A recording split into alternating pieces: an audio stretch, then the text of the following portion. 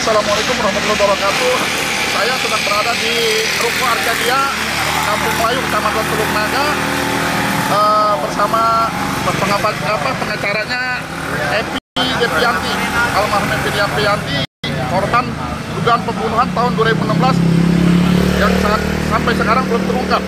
Epi eh, warga desa Tanjung Pasir bersama keluarganya saat ini sedang mencari keadilan hukum.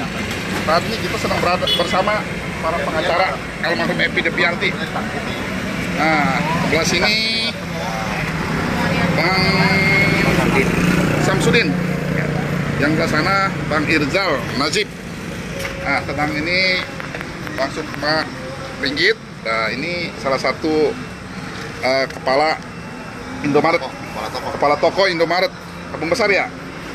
Nah, namanya Teteh Lulu. Nah, di sini kita atau pengacara sedang mencari eh, saksi-saksi untuk membantah adanya isu-isu yang tidak jelas.